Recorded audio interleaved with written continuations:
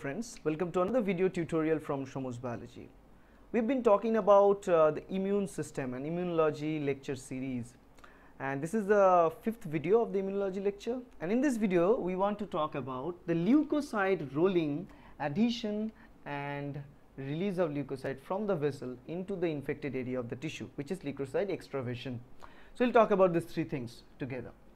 Now remember as this is a series of videos it will be very beneficial for you if you watch the previous video. So keep watching the videos as a series because in the last video we talked about the very first part of the defense mechanism of our body which is the integral part of innate immunity involved with the inflammatory response. In the inflammation what happens whenever there is a damage due to the wound or something bacteria take entry for example, here we see the bacteria as this blue colored things here. So macrophages, dendritic cells which are present there in the tissue or let's say neutrophils which can also be present in the tissue, they will engulf those bacteria, macrophage for example say as a phagocytosis. Now after this engulfment it will also start releasing certain factors, okay. The factors called interleukins. Remember, there are some molecular patterns that are found in the bacteria which is unique to them. And these macrophages, dendritic cells which are the prime cells, so the first line of cells against the, those, those pathogens, they can find those pathogen associated molecular patterns. And using those pathogen associated molecular patterns, these macrophages or dendritic cell, they can exactly sense the type of pathogen that are entering into our body they can sense it. Once they sense that pathogen, they start engulfing that pathogen inside. Now they sense that pathogen with the help of the presence of different receptor molecules like toll-like receptor TLR, NOD, RIG. We talked about all these in details. So with the help of these things they can recognize the presence of the pathogen and then once they engulf the pathogen they start releasing interleukins which are the part of chemokine molecules. Now the thing is once they are releasing these interleukins which is interleukin 1, interferon type 1, interleukin 8 and different types of interleukins and also some other things like histamines, bradykinin, leukotrienes which are also secondary response chemicals but these are the primary response chemicals that are being released in the infected tissue at the start point of the infection. Once these interleukins are released and the cytokines are released, those things are now filled there.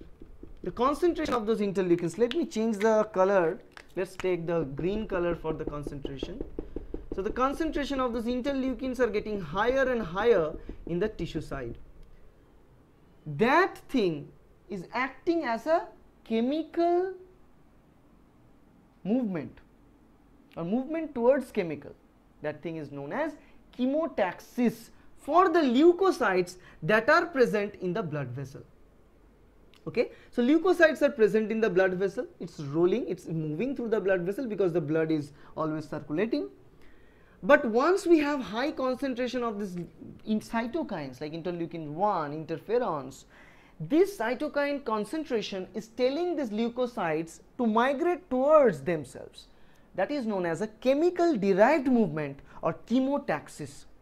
So leukocytes will move from the red blood from these vessels into the infected adjacent tissue area by the chemotaxis mechanism. But there is a barrier that is the endothelial wall of the blood vessel. You see the blood vessel wall though it's thinner but still there are cells covering it. It's a wall, it's a physical wall which this leukocytes needs to evade to come the adjacent tissue. It cannot damage the wall because if it self damage the wall that will be a bad thing to do. So there is some way that cells will migrate from this, uh, this vessel into the tissue. That whole process we are going to talk about right now. And why this is important because there are different types of leukocytes. You know all those cells we know of T lymphocytes are there which are which are different. But the leukocyte cell means eosinophil basophil lymphocyte monocyte. Okay? So all these cells that we know of in these white blood cells they are functional cells. And they are required for the helping and the generation of some more unified response against that pathogen that will be known as acquired immunity one such very important cell is neutrophil that will be required in this area okay so in this case they want those lymphocytes they want all those leukocyte cells now before going into there, they those leukocyte cells are moving through this bloodstream and they are moving really fast because the red blood cell is moving and also they are moving with themselves. So it's a very very fast movement. So the first thing for taking them into this tissue is that to slow them down and finally stop them. If you don't stop, somebody is running, running like that, let's say parallelly this thing is running and flowing, I want to take this to my side the first thing I should do is slow it, then stop it, then take it. So there are three different stages will be there. First is the attachment or tethering of the leukocyte into the endothelial wall. Okay, this is the attachment or tethering that is known as a capturing. The first thing, capturing or tethering. Second is the process called rolling. What tethering means there should be some way this leukocyte cell will be in contact with the endothelial cell that is the attachment only okay the first thing capture then we do the rolling. Rolling means once we capture those two things once we capture the endothelial cell with the leukocytes then we can start it rolling. Rolling means it's not moving and running. It means it's it's just circulating. It's just rolling very very slowly. Then the third part is the firm capturing or firm attachment. Then could be a proper attachment, but it will be not that strong, firm, very firm attachment over there. And then once the firm attachment is done, means after the end of the firm attachment, we can tell the leukocyte is now stopped. Then the fourth part, squeezing that leukocyte between the two endothelial cell this is the fourth thing. So there are four stages for the whole process. Let me write those stages here. First is the contact. Second is rolling. The third one is firm attachment. And the fourth one is the migration of the leukocyte into the infected tissue. These are the four stages if we break them down for our convenience. Now for this first thing of which is called contact. I told you now contact means the leukocytes should be in direct interaction with the endothelial cell surface. How they achieve this? There are specific proteins that leukocytes start expressing so as now normally these proteins are expressed in leukocytes all the time but these endothelial cells start expressing only when they sense this high concentration of interleukins. Once this cells start the sense of this interleukin concentration going high, the endothelial cells start expressing a protein on the surface of the cell which is known as selectin. Okay? Now, what is that? Let me just draw a simple thing. This is let us say the red blood, this is the blood vessel and these are let us say the endothelial cells. Okay? And let us say this is the leukocyte that we are talking about. So, the leukocyte they are having a specific carbohydrate moiety outside that is known as sialylated Lewis X. This is a carbohydrate structure known as sialylated Lewis X molecules that are always present there okay in the surface of these leukocytes but the endothelial cells don't have anything there so normally when there is no infection there is no interleukins the leukocyte is moving very fast along with the bloodstream but now once there is the presence of all those interleukins and all those cytokines interferons and all these things the concentration is going high in the nearer tissue that influence these endothelial cells to produce selectins which is another cell surface receptor molecule. So, all these cells start expressing another surface receptor known selectins. Example of selectin is E selectin, P selectin. Okay. With the help of this selectin and selectin which are present both side in the leukocytes as well as so the sialylated Lewis X they function as selectin. So it's just like kind of looking like a hook that is a hook from the leukocyte and the hook coming from the endothelial cell. So once they they create this hook so there can be contact between leukocyte and this surface receptor of selectin. Contact could be made so as the process of rolling. Rolling means slowing down a little bit